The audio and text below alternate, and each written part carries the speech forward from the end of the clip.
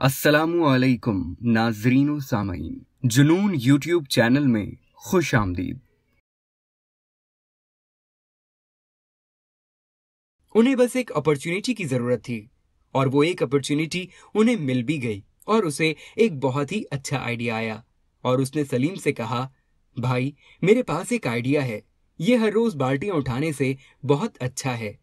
अब वो बाल्टी उठाने की जगह गाँव वालों को ट्वेंटी फोर सेवन ताज़ा और साफ़ पानी दे रहा था, जिससे सुलेमान पहले से बहुत ज़्यादा कमाने लगा था। दोस्तों, एक गाँव में दो कजन्स रहते थे, सलीम और सुलेमान। दोनों बहुत बड़े बड़े ख्वाब देखते थे और गाँव के सबसे अमीर आदमी बनना चाहते थे। सलीम और सुलेमान दोनों बहुत मेहनती हार्ड वर्किंग और समझदार भी थे।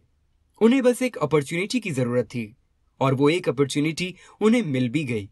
उस गाँव को दो लोगों की ज़रूरत थी, जो पास ही मौजूद एक दरिया से पानी भरकर ला सकें, और ये काम सलीम और सुलेमान को दे दिया गया।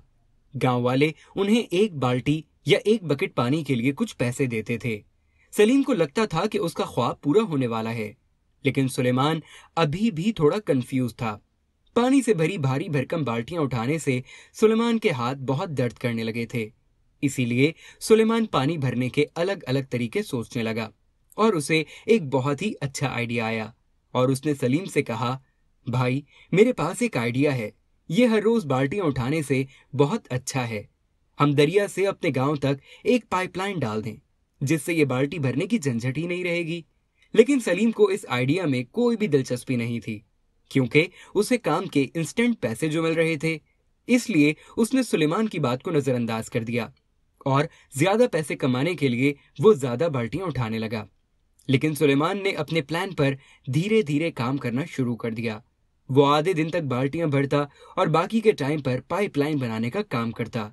उसे पता था कि ये काम करने से उसकी इनकम कुछ अरसे के लिए बहुत कम हो जाएगी।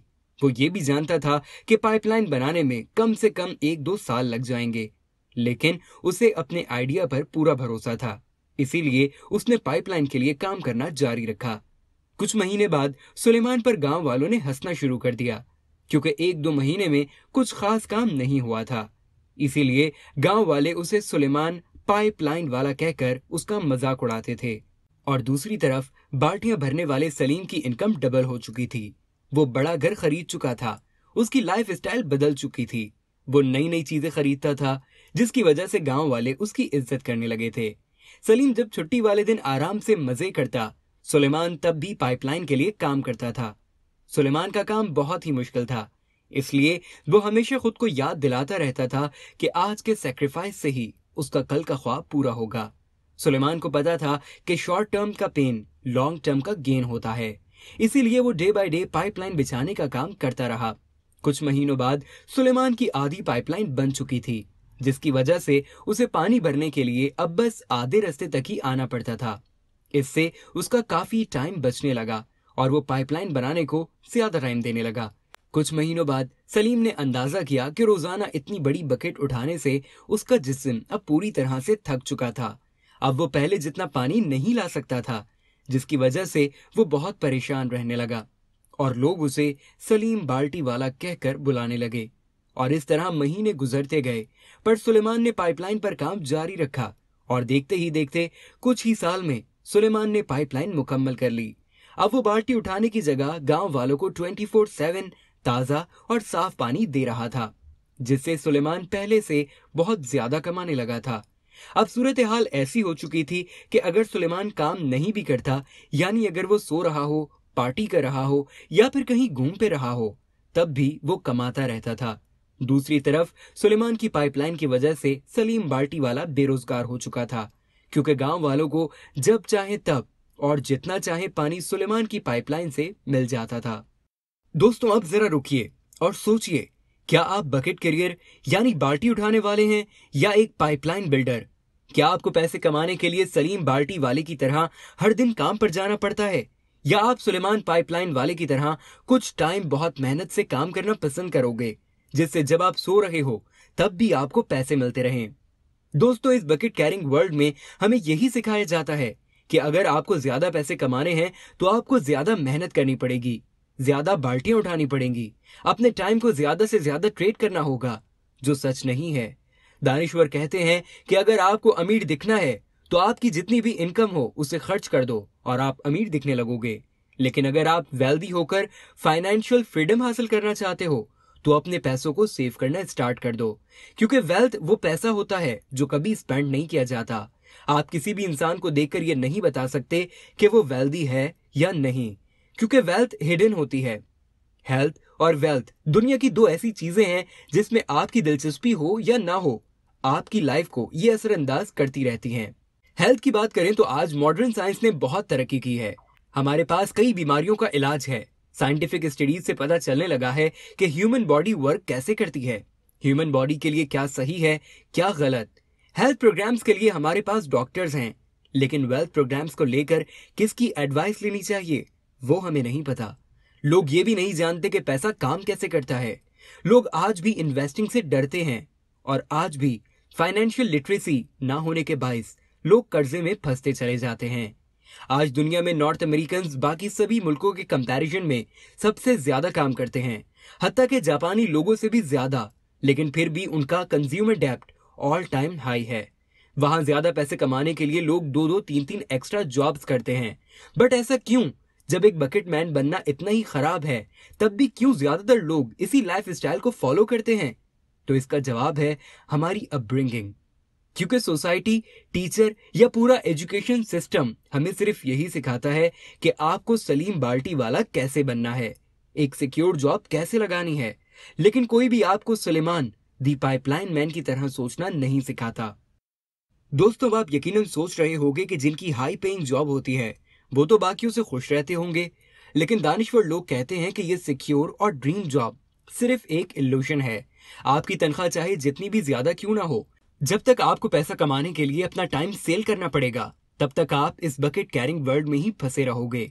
मिसाल के तौर पर डेरल स्ट्रॉबेरी एक बहुत ही कामयाब और मशहूर बेसबॉल प्लेयर थे, जो सिर्फ़ बेसबॉल खेलकर हर साल पाँच मिलियन डॉलर तक कमाते थे। और अलग अलग ब्रांड डील्स और पर्सनल ब्रांड से जनरेट होने वाली इनकम मिलाकर उन्होंने अपनी चालीसवीं सालगिरह से पहले ही सौ मिलियन डॉलर्स कमा लिए थे। अब आप सोचेंगे कि इतने पैसे मिलने के बाद उन्हें कभी कोई फाइनेंशियल प्रॉब्लम नहीं आई होगी। लेकिन ऐसा नहीं था। डेरिल स्ट्रॉबेरी को बेसबॉल से सस्पेंड करने के बाद उनके पास कोई इनकम सोर्स नहीं था और कुछ टाइम बाद पता चला कि उनके पास अपनी वाइफ और तीन बच्चों को सपोर्ट करने तक की भी कोई सेविंग नहीं है। तो अब सवाल यह आता है कि उनके सौ मिलियन डॉलर्स का क्या हुआ? वेल well, उन्होंने वो खर्च कर दिए। महँगे घर स्पोर्ट्स कार लग्जरियस लाइफ और ड्रग्स वगैरह से उनकी सारी वेल्थ खत्म हो गई।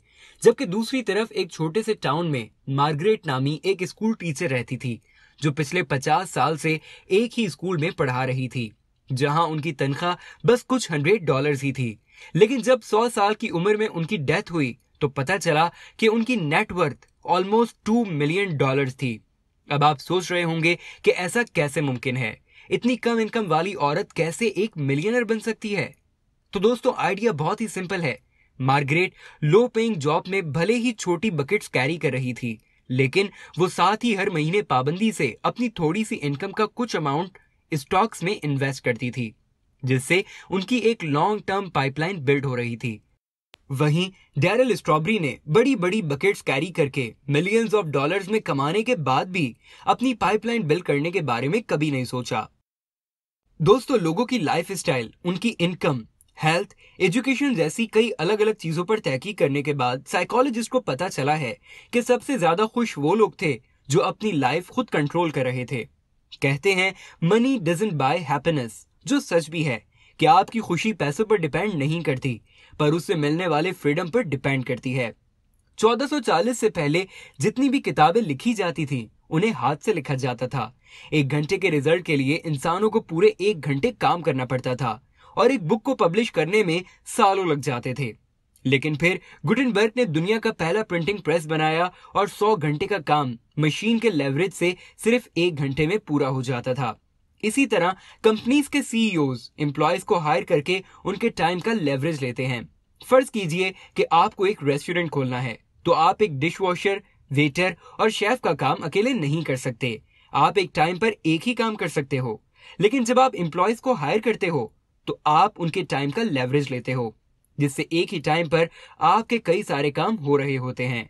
और आज हमारे पास लेवरेजिंग का सबसे बेस्ट टूल है इंटरनेट आज के टाइम में पाइपलाइन बिल्ड करने के लिए आपको दरिया से पानी लाने की ज़रूरत नहीं है.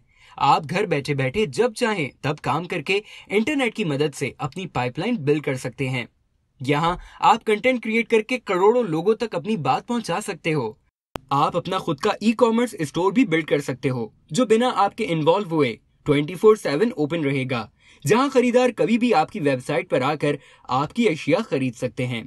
इसे ई पाइपलाइन कहते हैं, जो 21वीं सदी की सबसे ज़बरदस्त पाइपलाइन है। अब आप चाहे सो रहे हो या छुट्टियों पर हो, ये पाइपलाइन आपके लिए पैसे जनरेट करती रहेगी। तो दोस्तों, आज की वीडियो में इतना ही। उम्मीद है कि आपको ये वीडियो पसंद आई होगी। इस वीडियो को लाइक कीजिए और इस तरह की मजीद वीडियोस देखने के लिए हमारा चैनल सब्सक्राइब कर लीजिए।